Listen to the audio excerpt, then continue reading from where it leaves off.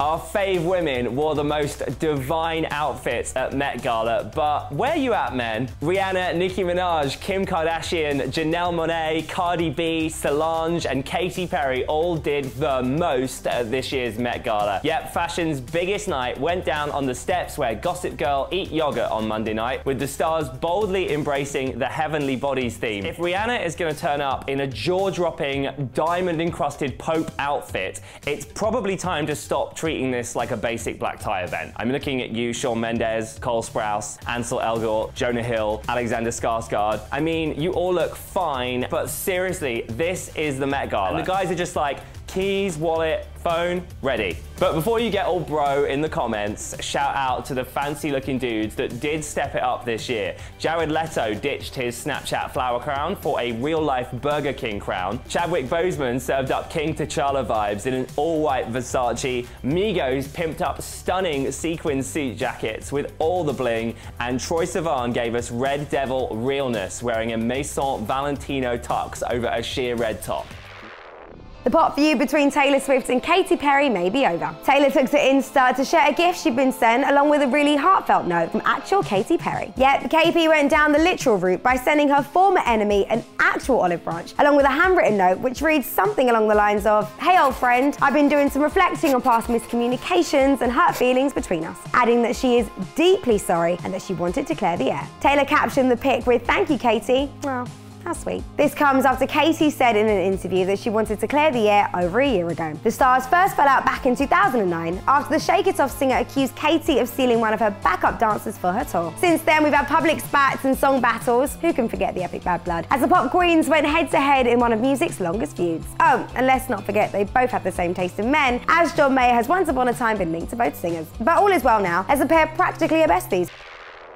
Kanye West's latest business venture has not gone quite as planned. He launched his brand new activewear at an event in Sydney recently, but it was shut down in just 45 minutes because nobody showed up. Wow, okay, that's embarrassing. I wonder why that's happened. Staff were left stunned as queues were expected around the block, but when they opened the front door, nobody was there waiting for Kanye's $300 bike shorts. Oh, I think I found out why.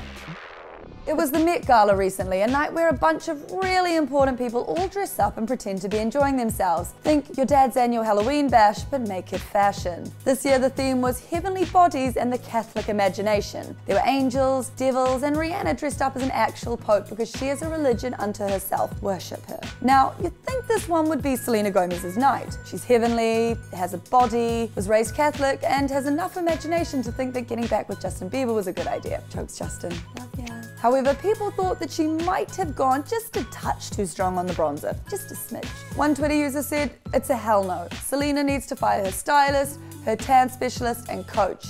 It's just a no all round. There are a few inevitable Ross from Friends references, and one very disgruntled onlooker said, Selena Gomez dares to show up to the Met Gala in her granny's nightgown from 1930, streaky fake tan, and concealer on her lips and expects me not to make fun of her. I mean, just a couple of things. Firstly, look, it's very easy and maybe quite fun to laugh at everyone's appearance when the only thing watching you is your photo booth camera and Facebook and the FBI, probably. But I can personally vouch for the fact that cameras and lights really up your makeup look. Finally, Selena doesn't need us to laugh at her because she can laugh at herself. The singer posted an Instagram yesterday of her running through a car park with the caption, me when I saw my pictures from the Met. See also, me when I watched my Insta stories from the night before.